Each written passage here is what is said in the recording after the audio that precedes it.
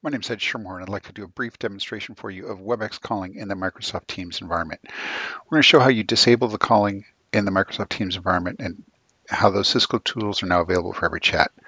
Show a little bit about the cross-launching of the WebEx Teams application to actually facilitate the call.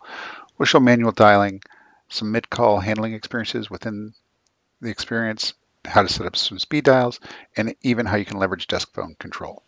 If you notice here in the highlighted area, the Microsoft Teams calling features have been disabled at the organizational level.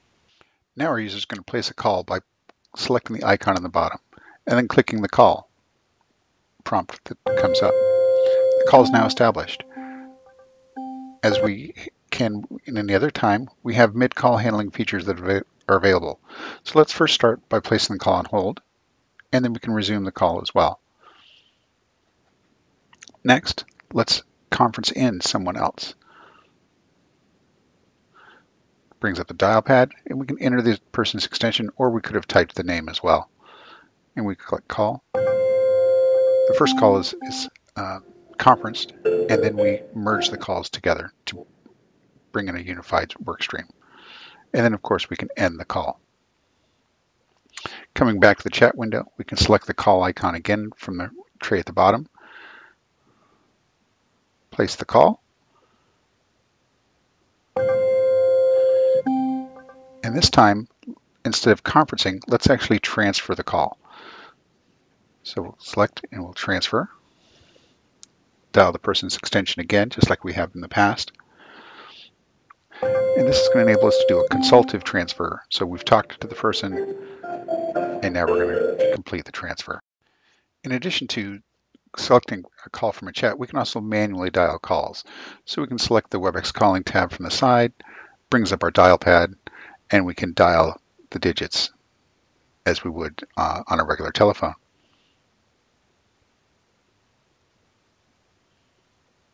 And place call.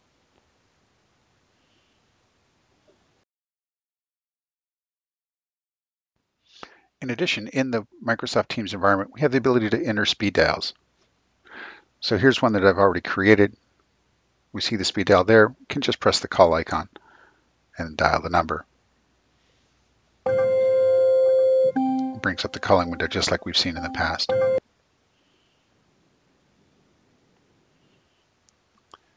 However, additionally, we can create new speed dials. We'll show how this is done. Simply search for a person's by name in your corporate directory, and you can add them. In addition, you can also add, say, a user, maybe your organization has still UCM connected to it, and we can select users from that group as well and add a speed dial for those users. Because we're leveraging all the features of the WebEx calling environment, we do have the ability to even see voicemail. We open up the WebEx Teams client, and we here we see the visual voicemail.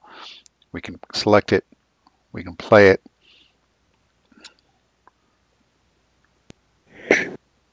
We can also choose to delete it or even mark something as unread.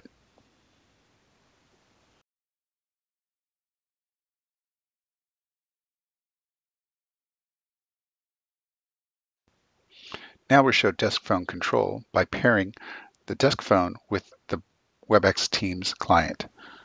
Select a device and pair with it. With desk phone control, I can place the call.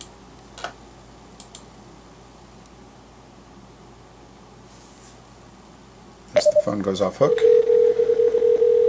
I'll answer the other end. We st still have all the same mid-call handling, and I'm able to end the call from here.